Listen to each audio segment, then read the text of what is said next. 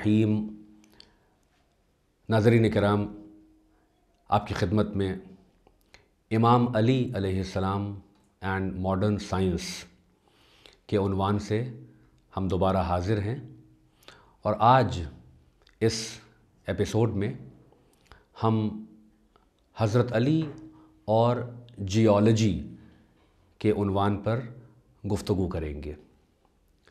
हज़रत अली अलैहिस्सलाम की किताब नहजुल बलागा, जिसमें आपके ख़ुतबात सरमन्स आपके कलिमात सेंग्स और आपके ख़तूत, लेटर्स मौजूद हैं, हमने उसी को अपना मरकज़ और महवर बनाया है, ताकि हम हज़रत अली अलैहिस्सलाम की अकवाल और उनके कलिमात की रोशनी में मॉडर्न साइंस की तरफ़ जाएँ और देखें कि हम किस तरीके से हज़रत अली अलैहिस्सलाम की सेइंग्स को डी कोड कर सकते हैं।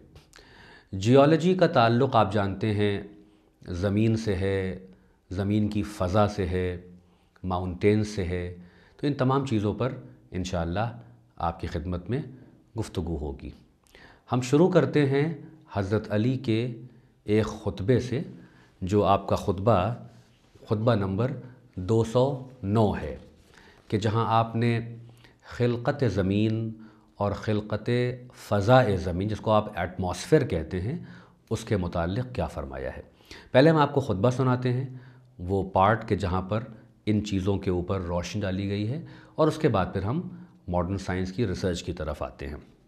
तो हज़रत अली फ़रमाते हैं, हम आपके सामने ख़ुतबा पढ़ रहे हैं ताकि बिल्कुल ऑथेंटिक हो जाए और जो तर्जमा आपके सामने हम पेश कर रहे हैं, आप जाके देखें। अल्लाह सुबहानहू के ज़ोर फरमा रवी और अजीब व गरीब सनत की लतीफ़ नाश आरई एक ये है, यानी अल्लाह ने अल्लाह की कुदरत पर हज़रत अली बात कर रहे हैं कि अगर आपको कुदरत खुदा को देखना है तो उसका एक नमूना और उसका एक सैंपल ये है कि उसने एक गहरे और अथाह दरिया के पानी से कि जिसकी सतहें, जिसकी लेयर्स तह बतह और मौजें थपेड़े मार रही थीं, एक खुश्क और बेहरकत ज़मीन को पैदा किया।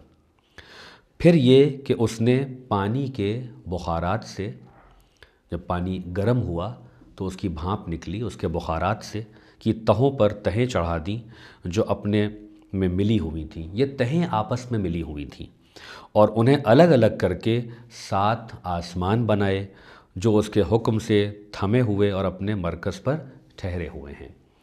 अब आपने इस कौल को सुना। 1400 बरस पहले हज़रत अली सलाम ने जिन हक़ाइक़ को और फैक्ट्स को जो क्रिएशन ऑफ़ यूनिवर्स से मुतक़ है और बिलखसूस क्रिएशन ऑफ़ अर्थ और अर्थ का जो एटमॉस्फेयर है उससे मुतक़ है, इतनी गहरी बातें अरब के उस समाज में हज़रत अली ने कहीं कि वो लोग तो इसकी हकीकत से वाकिफ़ भी नहीं थे। इसीलिए हमारे ने ये कहा कि मोहम्मद आल मोहम्मद अलैहिस्सलाम किसी एक ख़ास ज़माने के लिए नहीं आए थे बल्कि वो रहती दुनिया तक के लिए आलम बशरियत के लिए अल्लाह की तरफ़ से रहबर और इलाही टीचर थे। उन्होंने जिस ज़माने में वो बज़ाहिर हैं फ़कत उस ज़माने के लिए उन्होंने बातें नहीं कही हैं बल्कि एडवांस तरीन दुनिया जब आएगी और जो इस वक्त है एक, एक बहुत ही एडवांस दुनिया इसके लिए भी वो राह हिदायत हैं और उनके कलेमात उनकी सेइंग्स हर एक के काम आ सकती हैं और हर एक को अल्लाह तक पहुँचाने के लायक हैं और कामिल हैं इस मामले में। तो आप देखिए कि कितनी गहरी बातें हज़रत अली ने फरमाई हैं। अब हम आपकी खिदमत में आज की जो मॉडर्न जियोलॉजी है, उसकी तरफ़ जाते हैं और आपको बताएँ कि अभी चार दिहाई भी नहीं गुजरी है फोर डेकेड्स के हमारे सामने ये रिसर्च मौजूद है और इस पर अभी भी रिसर्च हो रही है और तमाम साइंटिस्ट इस पर मुतफ़ हैं कि सेवन लेयर मॉडल ज़मीन के एटमॉस्फेयर का सब लोगों ने बताया है। और हमारे जो छोटे बच्चे होते हैं जोग्राफ़ी की क्लासेस में पढ़ते होंगे फिफ्थ सिक्स सेवन्थ स्टैंडर्ड में, कि जो सेवन लेयर्स हैं एटमॉस्फेयर की, वो ट्रोपोस्फेयर और स्ट्रेटोस्फेयर ओजोनोस्फेयर मीज़ोस्फेयर थर्मोस्फेयर उसके बाद आयनोस्फेयर और फिर एग्जोस्फेयर है। ये जो सेवन लेयर जो मॉडल है, इसको आप जो है वो O R M seven layers model कहते हैं। ये O R M seven layers model है। इस पर साइंटिस्ट मुतफ़ हैं अग्रीड अपॉन हैं। अब आप देखिए कि ये जो सातों लेयर्स हैं, ये ज़मीन के ऊपर हैं, ज़मीन की जो फ़ज़ा है, जो एटमॉस्फेयर है, उसमें ये सातों लेयर्स पाई जाती हैं। मैं इससे पहले कि और इस पर आपके सामने रोशनी डालूं। कुरान मजीद की एक आयत आपके सामने पढ़ना चाहता हूँ, जिसमें अल्लाह ये कह रहा है कि वो वही खुदा है जिसने जिसने हर चीज़ तुम्हारे लिए ज़मीन पर पैदा की और उसने उन आसमानों को सात लेयर्स में अरेंज किया और उसके पास हर शय का इल्म है। अगर आप इस आयत पर गौर करें तो पहले खिलकत ज़मीन की बात हुई कि अल्लाह ने तुम्हारे लिए हर चीज़ को ज़मीन पर पैदा किया, ज़मीन को तुम्हारे लिए पैदा किया और हर चीज़ को ज़मीन में तुम्हारे लिए रख दिया है। तो ज़मीन को अल्लाह ने मुक़दम किया है और ज़मीन के बाद वो आसमानों की तरफ़ मुतवजह हुआ। यह आसमान जो हम समझते हैं कि जो नीलगू आपके सामने एक हकीकत दिखाई दे रही है, ये असल में ज़मीन के एटमॉस्फेयर की बात हो रही है, क्योंकि ज़मीन से इसका रब्त है, ये अलग से कोई हकीकत नहीं है, बल्कि ज़मीन के बाद इसका तस्करा हो रहा है। तो ज़मीन ही की का एक पार्ट है, जिसे ज़मीन का एटमॉस्फेयर या अर्थ एटमॉस्फेयर अर्थ एटमॉस्फेयर कहा जाता है। और कुरान कह रहा है कि हमने इसके अंदर सात तबक़ात, सात लेयर्स बनाए हैं। और जो लेटेस्ट साइंस है, जिसको हमने आपके सामने पेश किया, जो O R M model seven layer model है, वो भी यही कह रही है कि ज़मीन के ऊपर सात लेयर्स मौजूद हैं। तो आपने देखा कि किस तरीक़े से हज़रत अली का नहजुलबलागा में ज़मीन की खिलकत और ज़मीन के एटमॉस्फेयर की खिलकत के ऊपर जो कौल है, वो कितना हकीकत से इंसान को करीब कर रहा है कि अगर इंसान तख्लीक़ ज़मीन और तख्लीक़ फ़ज़ा ज़मीन पर गौर करे आज की लेटेस्ट रिसर्च की रोशनी में तो वो हज़रत अली के कलाम की हकीकत तक पहुँच सकता है।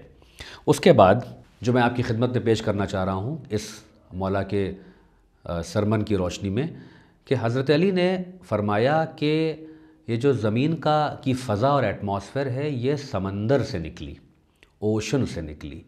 अब ये एक नहायत ही अजीब व गरीब बात मौला ने 1400 बरस पहले कही, जो आज की जो जियोलॉजी के एक्सपर्ट हैं और जो ओशनोग्राफ़ी के एक्सपर्ट हैं, वो इस बात की तह तक पहुँचे हैं कि समंदरों में जो एलिमेंट्स पाए जाते हैं और जो उनके अंदर बुखारात हैं, वही जब भाप बन के ऊपर उठे हैं तो ये सेवन लेयर्स वजूद में आई हैं और समंदर के अंदर जो चीज़ें पाई जाती हैं, वो इन इन लेयर्स में पाई जाती हैं। यानी आप देख सकते हैं कि इसमें जो है वो एच टू ओ है और उसमें एट एटमॉस्फेरिक ऑक्सीजन पाई जाती है कार्बन डाइऑक्साइड पाई जाती है और हाइड्रोजन पाई जाती है एटमॉस्फेयर में और ये तमाम चीज़ें जो हैं ये समंदर के पानी में मौजूद हैं। लिहाजा हमको मालूम हो गया कि ये जो ज़मीन की फ़ज़ा है, वो समंदर से बनाई गई और तह ब तह उसको अल्लाह ने एक दूसरे के ऊपर चढ़ाया।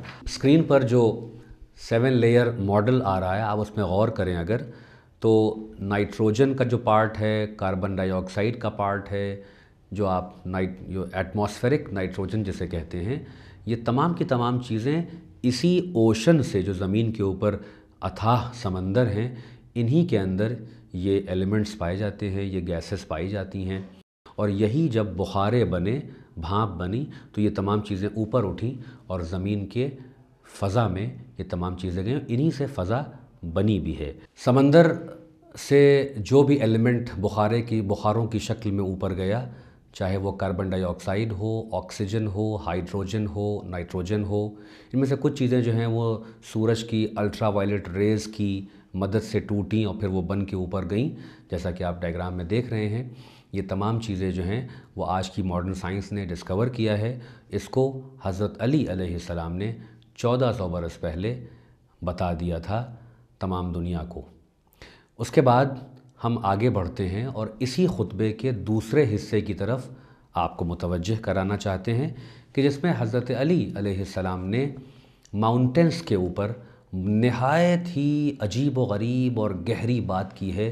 हकीकत पर डूबी हुई बात कि जिसको अभी चंद दिहाई पहले डिस्कवर किया गया और ये अक्ल इंसानी को ताज्जुब में डाल देती है कि कैसे चौदह सौ बरस पहले एक इंसान ने अरबिस्तान में इतनी गहरी बात, इतनी इल्मी बात, एक साइंटिफिक हकीकत को दुनिया के सामने रख दिया। इसीलिए हम कहते हैं कि दुनिया के सामने कि हज़रत अली सलाम को आप कोई आम इंसान न समझें, जो किसी लेबोरेटरी में गए हों, किसी उस्ताद के सामने बैठे हों, किसी मदरसे के प्रोडक्ट हों। ये वो हस्तियाँ हैं कि जो अपने रब, यानी अल्लाह रब्बुल इज़्ज़त से पढ़कर इस दुनिया में आती हैं। ये इमाम हैं, ये मासूम हैं, ये अल्लाह के इल्म का मज़हर हैं और ये अपने इल्म से बताते हैं। कि हम यहाँ के पढ़े हुए नहीं हैं, हम अल्लाह के यहाँ पढ़ कर आते हैं।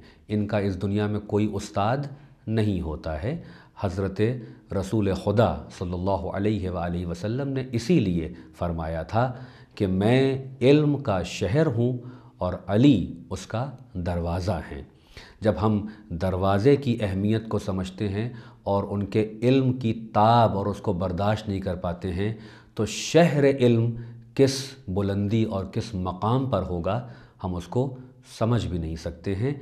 इसीलिए हज़रत अली सलाम से हम हज़रत रसूल खुदा सल्लल्लाहु अलैहि व वसल्लम की तरफ़ जाते हैं और उनकी मारफत हासिल करते हैं। देखिए, हज़रत अली सलाम ने अपने इस खुतबे में माउंटेंस के बारे में, पहाड़ों के बारे में क्या गहरी बात कही। आपने कहा कि अल्लाह ने इन ठोस चिकने पत्थरों को, टीलों और पहाड़ों को पैदा किया और उनको उनकी जगहों पर नस्ब और उनकी करारगाहों में कायम किया।